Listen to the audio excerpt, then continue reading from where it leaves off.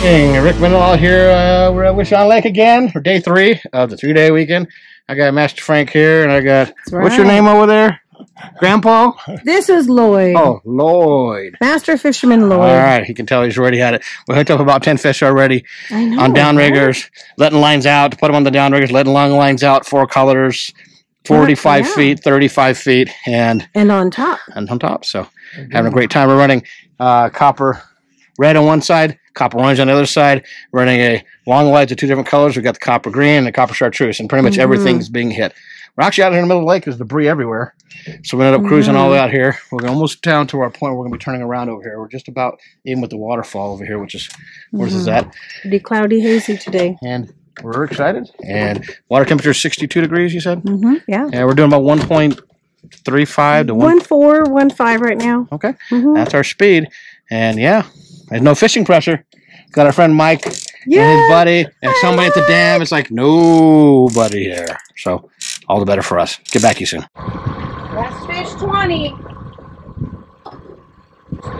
They have a scoop, so they, the water pushes against it and does a dance.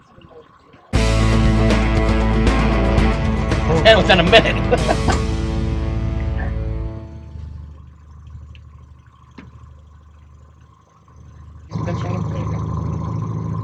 Let the pole do the work for you.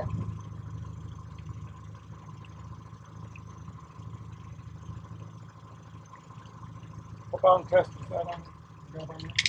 20 pound test, is it, babe? Uh, the, the, the end part is 20 pound test fluoro clear. The main line is that's that's 27 pound lead like I put on yours. Keep pull up. I'll tilt the fork now. Keep it up. He's watching you, Frank. He's to tell you when that pole's not up. Woo! We got him. That's fish 28. Now this pole's out of the way. And we only have one worth here.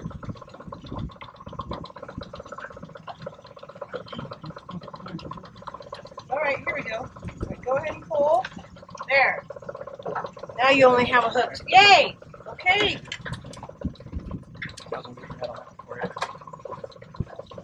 Start that one over again. Here we go.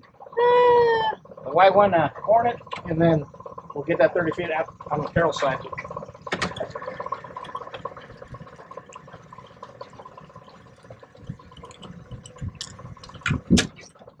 He's off.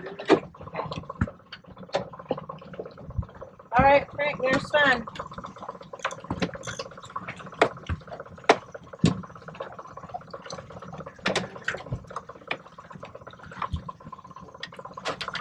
There we are. Okay, the net, net, put on, Frank. Put it in there.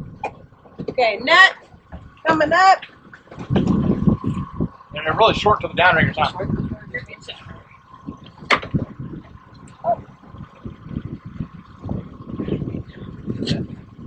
Yep. Photo, photo. I can't get him in, and Roger's turning right. Roger, you're not turning left. Come on now. Come on. Now wait. There you go. Tell the wind who's boss. There you go. Okay, folks, we're at the end of the day. We ended up with 66 fish for today. Uh, Lloyd, yeah, yeah, pretty good. Good job, Yeah, and Cap, got a guy And Frank. Woo! Yep, Cap Carroll, thank you. Woohoo! Of course, me, thank myself.